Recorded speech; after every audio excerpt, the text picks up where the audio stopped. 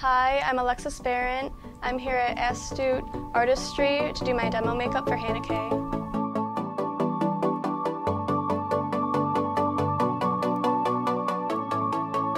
I've been doing theater since I was about eight years old. I did a summer camp and since then I've done a lot of community theater and school shows.